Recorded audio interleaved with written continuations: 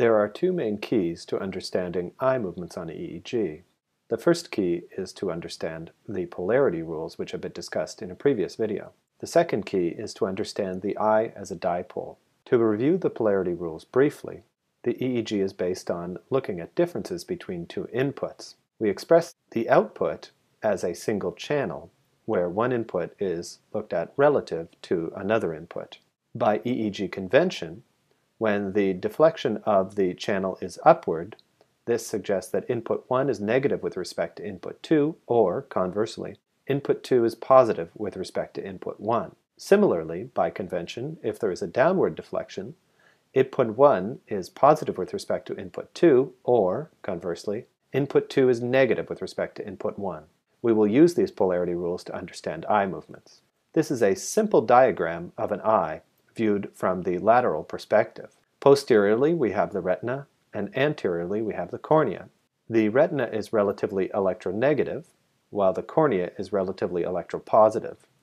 Let's consider the example of a simple eye blink. Here is a simplified diagram of the lateral aspect of the head of somebody having an EEG. You can see the eye in the center of the screen, a diagram of the eyelid, and a crude diagram of the nose. Let's consider what happens when the eye is blinked. The eyelid goes down, and simultaneously, the eyeball moves upward into the head. This is known as Bell's phenomenon. Let's think about where the EEG electrodes would be placed. In this situation, the closest electrode would be FP1 or FP2, depending on the side of the head. Next, further up the head are F3 or F4, and at the top of the head, C3 and C4. FP1 and FP2 would see the greatest amount of positive charge from the electropositive cornea. It is possible that there is a smaller amount of positive electrical activity at F3 or F4, but as these electrodes are farther away from the eyeball, this charge would be much smaller. And because C3 and C4 are so distant, they likely do not receive any of the charge from the eyeball. Let's think about this in terms of EEG output. Let's consider the channel FP1, F3. FP1 would have a very high positive charge, as we said before, and F3 has a smaller positive charge. If we remember our polarity rules, because FP1 is positive with respect to F3, there is a downward deflection at the time of this eye blink. Now let's think about the next channel in the chain. F3 does have a very small positive charge, and there is likely no charge at C3, and so there is probably a smaller downward deflection. Because both eyeballs are likely moving conjugately, we would likely see the same effect on the other side. Our suspicions are confirmed when we look at a normal EEG in which a patient is blinking his eyes. If we take a more careful look at the electrodes that we had predicted the outcome, we see that our predictions are accurate. We can use the same principles to look at horizontal eye movements. With horizontal eye movements, the best approach is to look at the head from the top down. In this diagram, we will use the example of a leftward eye movement. The electrodes that are closest to these eye movements on the left side are F7 and T7 in the temporal chain.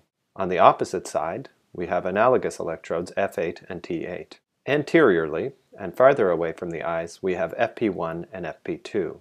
If we think about the dipole of the eye, F7 is closest to the positively charged cornea, and so F7 will experience a net positive charge.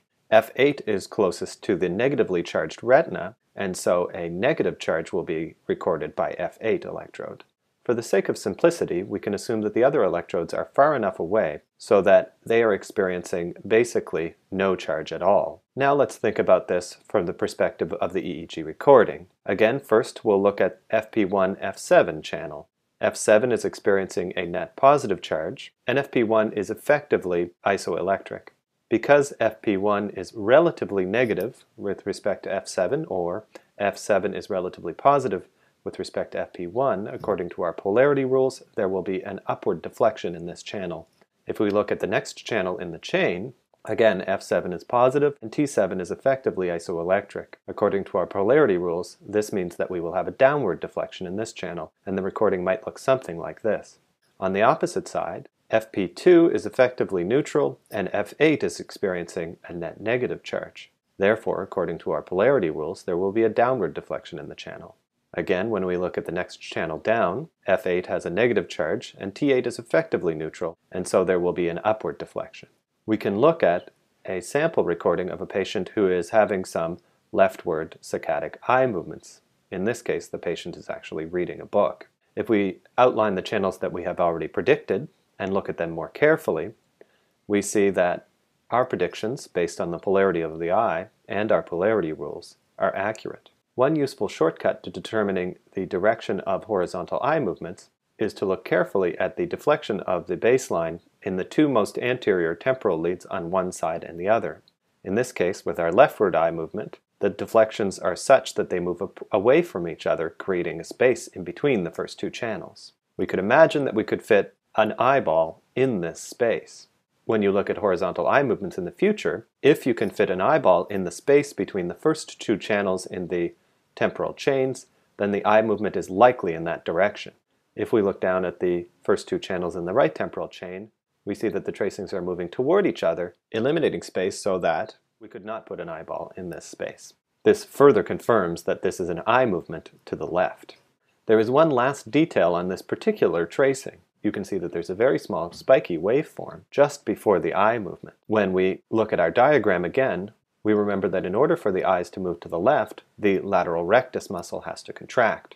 The lateral rectus muscle is very close to the F7 electrode, and so the initial activity before the eye movement is a small negative charge secondary to the contraction of the lateral rectus. This is known as a lateral rectus spike, and this artifact is sometimes mistaken for an epileptiform discharge.